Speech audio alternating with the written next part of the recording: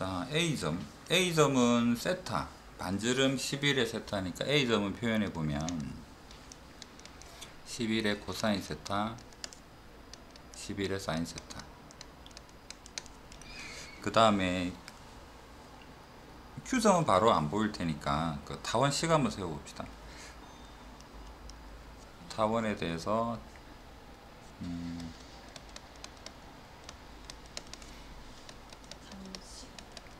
장축은 11이 아 장축 x 절편 장축이 아니죠.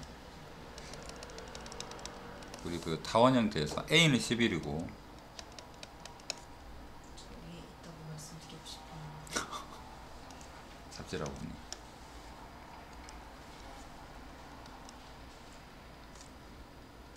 (11의) x의 제곱이랑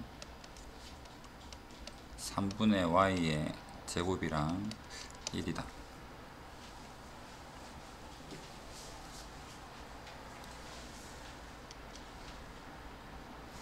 자, 그러면 타원에 대한 어떤 위에 있는 점을 x와 y를 이 부분을 지금은 각을 잘 모르니까 음, 알파라고 한번 표현을 해 볼게요. 무언가를 제곱, 무언가를 제곱해서 1이 되었으니까 이 부분을 코사인의 알파다라고도 볼 수 있을 것 같아요. 코사인의 알파 사인의 알파 이렇게 생각을 해보자. 그렇다면 x는 요 괄호 괄호가 같으니까 x 값은 코사인의 알파로 아 11 코사인의 알파로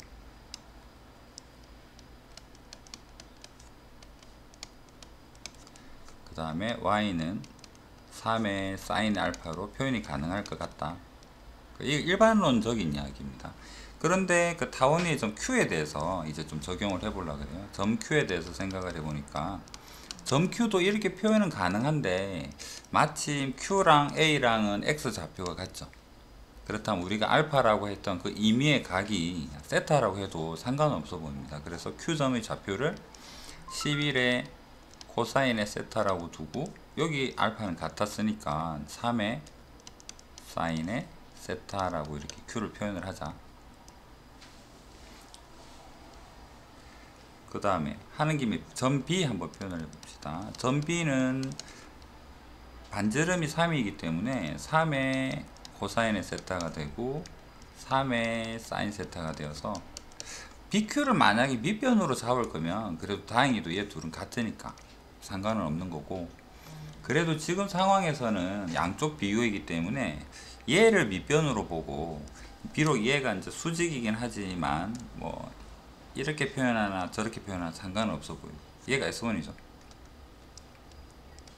그 다음에 S2는 APQ니까 여기를 밑변으로 하고 요렇게 표현을 했을 때 여기서부터 요까지가 높이 역할을 해주고 AQ는 밑변 역할을 해주는 게 S2 자, 이건 뭐 하여튼 그렇습니다 요, 요렇게 시작을 한번 해봅시다 그러면 S1은 S1이 분모로 들어가나요? 그러면 S2를 먼저 적읍시다. 삼각형 2분의 1. 자, 공통적인 거 AQ는 뭐가 되느냐 그러면 A점의 Y좌표에서 Q점의 Y좌표 A점의 Y좌표에서 Q점의 Y좌표를 빼야 됩니다. 그러면 11 사인 세타에서 3 사인 세타니까 얘는 바로 그냥 8 사인 세타를 합시다. 얘가 AQ 그 다음 여기서 5까지가 S2의 높이인데 P점의 X좌표는 11이고 H는 다 똑같죠? 여기 11 코사인 세타.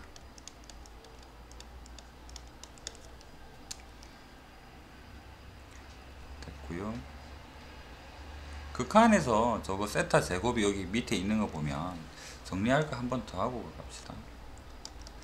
요랑 요랑 하면 4 11 묶어내면 44에 사인 세타에 1 마이너스 코사인 제곱에다 더하기 더하기 해주게 되면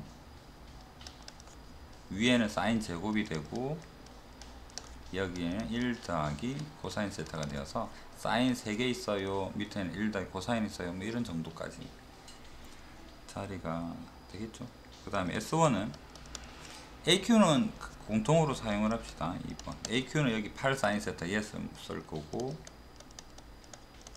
그 다음에 Q의 X 좌표에서 Q의 X 좌표에서 B의 X 좌표를 빼세요. 여기서 5 빼니까 아 얘는 그래도 어 8이 어디 갔지? 왜 세타가 적혀있지? 8 사인 세타 여기도 다행히도 8 코사인 세타 맞죠? Q, B, Q, B 11에서 8, 3, 8 음. 그러면 얘는 사인 2세타를 적으면 되나요? 32에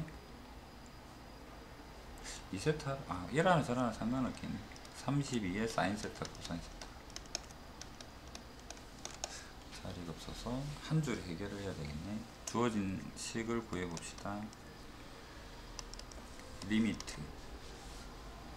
자 S1이랑 세타 제곱. 세타 2개 그 다음에 32에 사인 세타 1개 코사인 세타. 그 다음에 S2는 44 사인 세타 3개 그 다음에 1 더하기 코사인 세타 분의 1 여기 두 개랑 여기 한 개랑 여기 세 개는 약분 서로 없어질 테고 얘는 1 되고 여기서 2분의 1 나오겠죠.